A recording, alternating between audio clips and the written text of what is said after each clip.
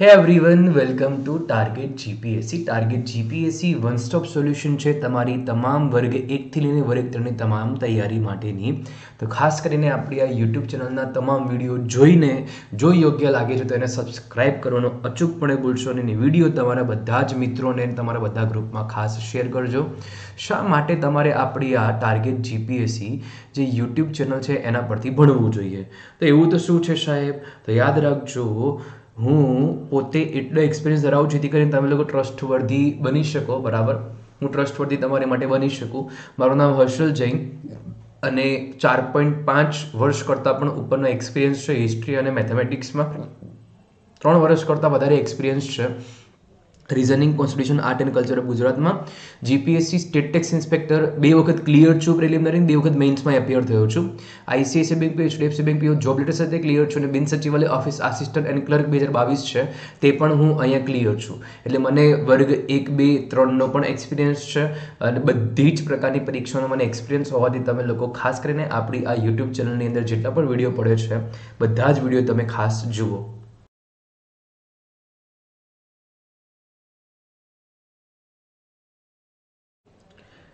Target GPSC TG website શા માટે તમારે આપણી આ વેબસાઇટને રોજે રોજ દિવસમાં ત્રણ વાર જોવી જોઈએ? વીકલી કરંટ અફેર્સ તમારી માટે આવી રહ્યો છે. Daily current affairs the Hindu vocabulary તમારી માટે આવી રહ્યું છે. જોડે તમને મંથલી કરંટ અફેર્સ પણ મળશે. જોડે તમને સરકારી પરીક્ષાને લગતું મટીરિયલ પણ મળવાનું છે. બરાબર? અને સરકારી પરીક્ષાને લગતી માહિતી પણ મળશે. મોક ટેસ્ટ પેપર સિરીઝ પણ તમને મળવાની છે. તો તમારે કેમ ઇગ્નોર કરવું છે? કોઈ પણ તમને સારી વસ્તુ ફ્રી ઓફ કોસ્ટ મળતી હોય તો શું કામ તમારે એને ના જોવી જોઈએ? જોઈ લો. વીકલી કરંટ અફેર્સનો તમે ખાલી ચાર્ટ જોઈ લો તો તમને ખ્યાલ આવી જશે વીકલી કરંટ અફેર્સમાં જો આટલી બધી વસ્તુ છે ટાઇટલ વાઇઝ તમને અહીંયા મેં પ્રોવાઈડ કરવાનો પ્રયત્ન કર્યો છે. જુઓ. એક સેક્શન વાઇઝ રાજ્ય, આંતરરાજ્ય, બરાબર આંતરરાષ્ટ્રીય, પછી રાષ્ટ્રીય, સંરક્ષણ છે, બરાબર નિમણૂક છે, રાજીનામા અને રોજના કરંટ અફેર્સમાં ટાઇટલ નતો પણ રોજના કરંટ અફેર્સમાં આટલા પોઈન્ટને આવરી લેવામાં આવે છે રાઈટ તો ખાસ કરીને આપણી વેબસાઇટને ડિસ્ક્રિપ્શન બોક્સમાં લિંક આપી છે અને પિન કરેલી કમેન્ટમાં પણ આ લિંક અવેલેબલ છે, ત્યાંથી તમે આ વેબસાઇટને જુઓ. જજ કરણ, આપણી હર્ષલ જૈન સર ટેલિગ્રામ ચેનલમાં ખાસ જોડાઈ જાઓ. જય સોમનાથ. સ્વાગત છે જીસીઆરટી ઇતિહાસ સેશનની અંદર ધોરણ બારમાં. આપણે ધોરણ બારની અંદર લાઇન હાઇલાઇટ કરીને તમને સમજાવવામાં આવશે દરેક વસ્તુઓને. કઈ વસ્તુ ક્યાંથી પૂછાઈ શકે આપણને બધી વસ્તુનો ખ્યાલ આપવામાં આવશે જે જ ઇમ્પોર્ટન્ટ છે. બરાબર. એકવાર મારી આ સિરીઝ પતે પછી હું ધોરણ પાંચથી દસની જે સોશિયલ સાયન્સની ચોપડી છે, એની પ્રશ્નોત્તરી અને પછી ધોરણ અગિયાર બારની પ્રશ્નોત્તરી પણ આપણે કરવાના. બટ પહેલાં ચોપડી છે રીડ કરવી પડશે. અને પહેલાં તમને માહિતી આપી દઉં છું કે ધોરણ બાર છે, એની ચોપડી તમારે બધા મિત્રોએ ખાસ રીડ કરવાની છે. હું તમને કરાવું છું, પણ એક વખત તમારે એ ચેપ્ટરને રીડ કરવું પડશે. રાઈટ તો પ્લીઝ એને રીડ કરજો ખાસ કરીને. અને આપણે શરૂઆત કરીએ છીએ આપણા આજના વિડીયોની.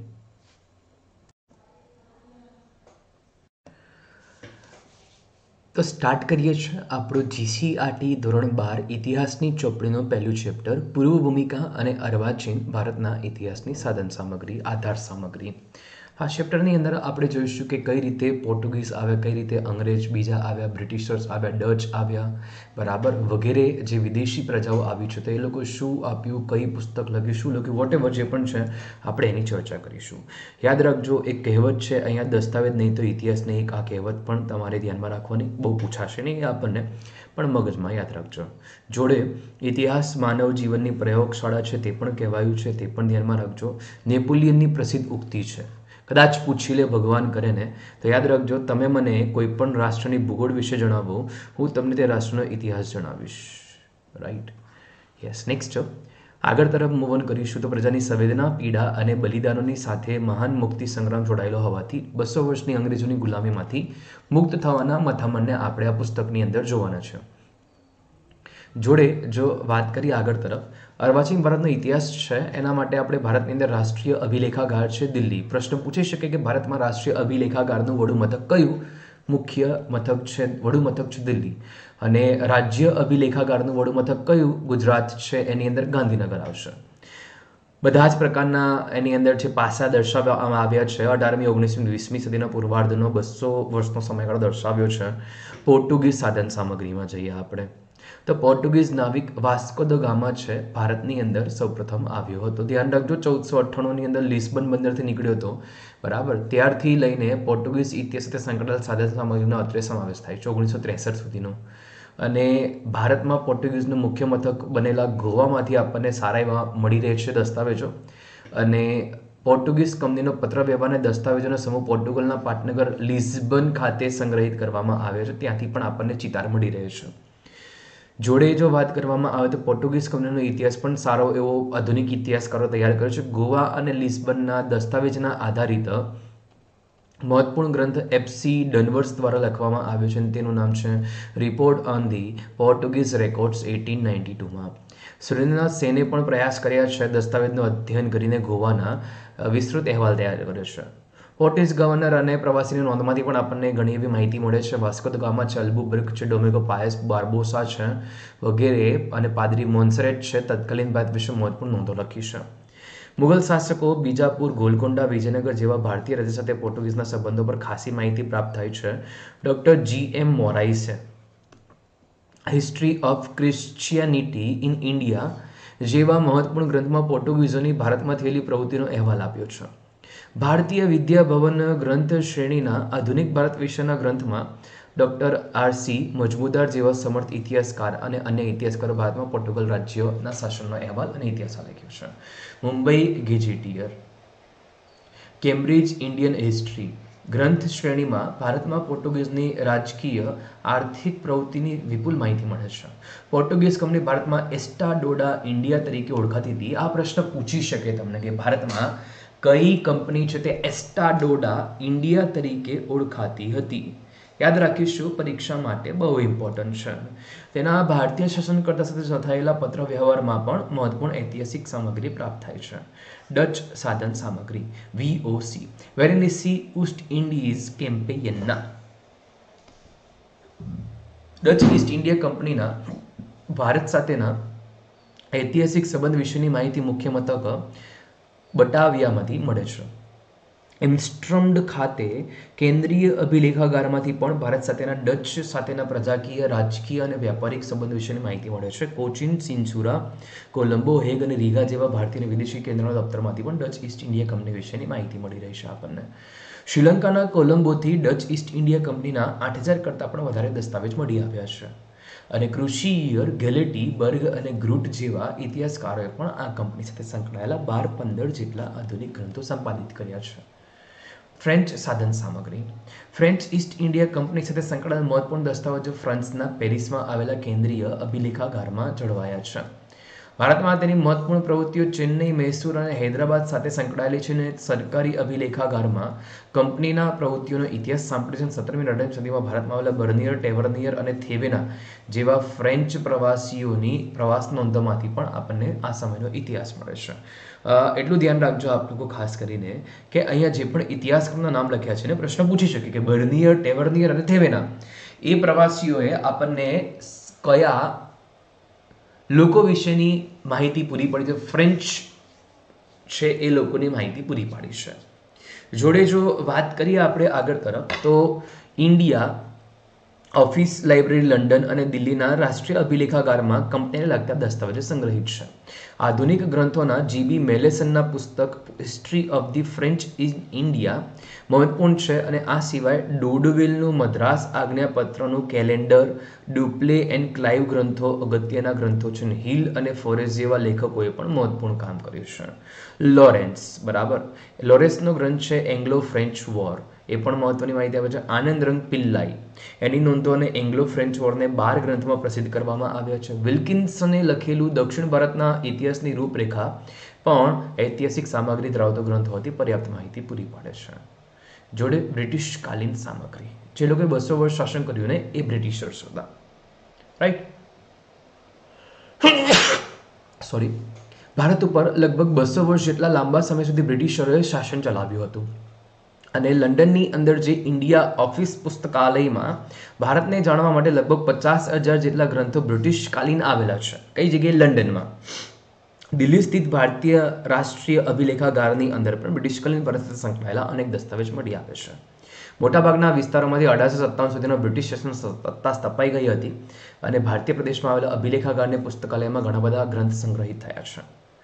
અંગ્રેજ ઇતિહાસકાર અને લેખકમાં વીએ સ્મિથ છે બી રોબર્ટ્સ છે થોમ્સન એન્ડ ગેરેટ છે, સર વિલિયમ જોન્સ છે, કર્નલ ટોટ છે, ફાર્બસ છે, કર્ઝન છે, વાઇસ રોય, કર્નલ વોકટ છે, જે. ડબલ્યુ. વોટસન છે, વગેરેનો સમાવેશ થાય છે.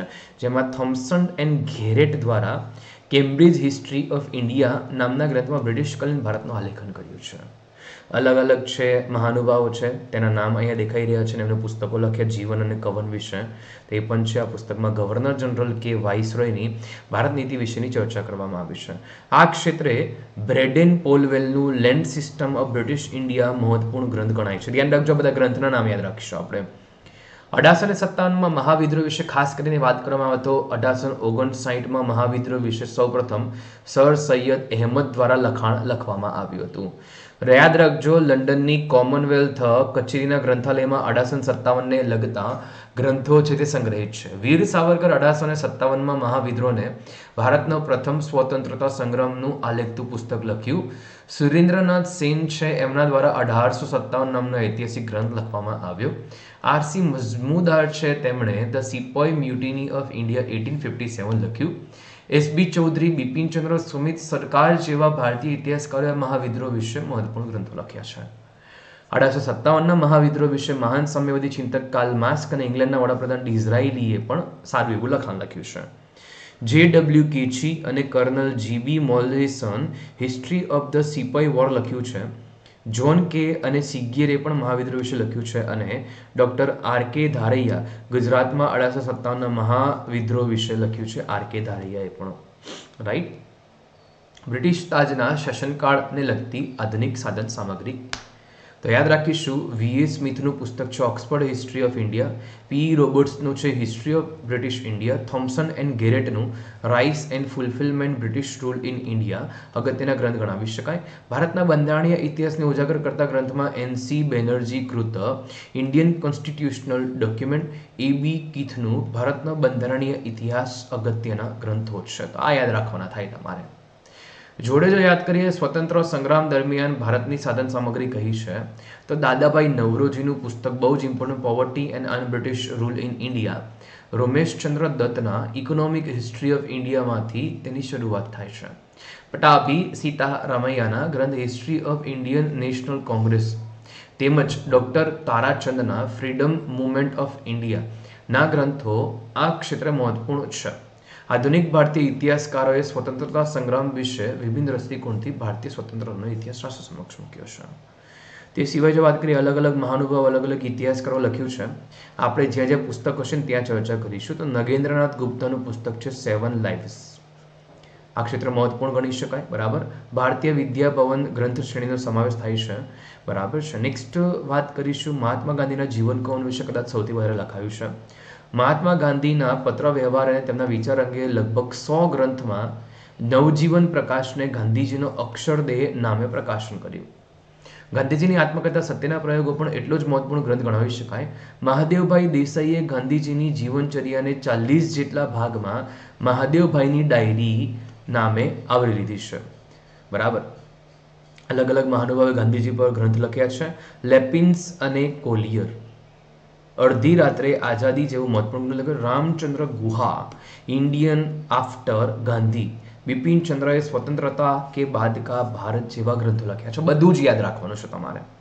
તેના બાદ જો વાત કરીએ પ્રાદેશિક ઐતિહાસિક સામગ્રી, તો ભોજે વિદ્યા ભવન જે અમદાવાદમાં આવેલું છે, દસ ગ્રંથની ગ્રંથ શ્રેણી દ્વારા કેટલાક બ્રિટિશકાલીન પુસ્તકો આલેખાયા છે. મગનલાલ વખતચંદ શેઠનો ગુજરાત દેશનો ઇતિહાસ અને અમદાવાદનો ઇતિહાસ લખ્યો છે આ મહાનુભાવે. એલેક્ઝાન્ડર ફાર્બસે રાસવાડામાં ગુજરાતનો ઇતિહાસ લખ્યો છે.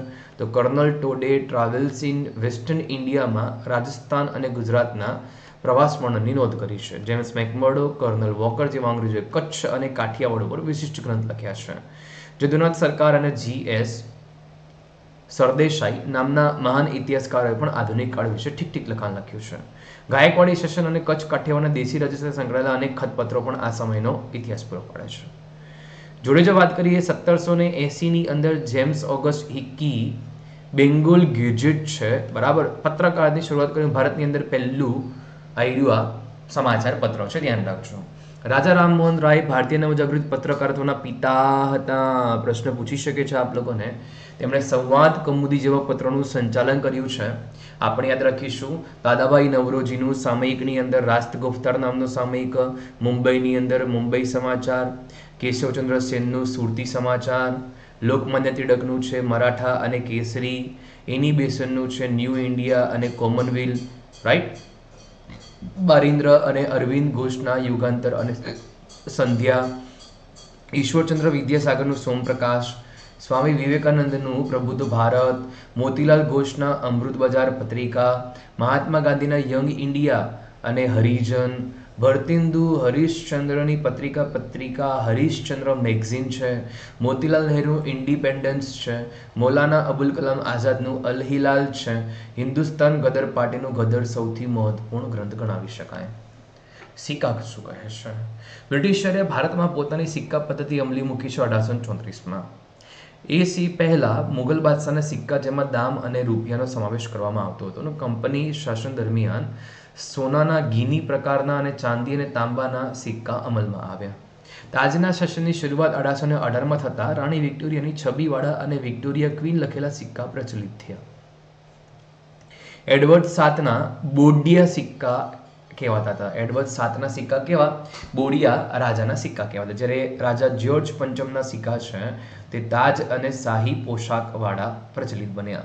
ભારતમાં બ્રિટિશ પ્રાંતમાં બ્રિટિશ સિક્કાનું ચલણ વધુ હતું જ્યારે હિન્દના દેશી રજવાડાના રાજાઓ પોતાની રીતે સિક્કા બહાર પાડી શકતા હતા. સૌરાષ્ટ્ર કચ્છ અને વડોદરાના રાજાઓ અને અન્ય ભારતીય રાજાઓ દેવનાગરી લિપિમાં સિક્કા ચલાવતા હતા. ધ્યાન રાખજો. બધું જ ઇમ્પોર્ટન્ટ છે આ સિક્કા જોઈ શકો છો અહીંયા. ક્લિયર કટ તેના બાદ ભારતમાં વિભિન્ન યુરોપીય પ્રજા આવી ત્યારે ભારતમાં પરિવર્તન થયું. સત્તરસો સત્તાવનથી છે બ્રિટિશ ઈસ્ટ ઇન્ડિયા કંપનીએ શાસનનો પ્રારંભ કર્યું. બસો વર્ષ શાસન કર્યું છે એમણે.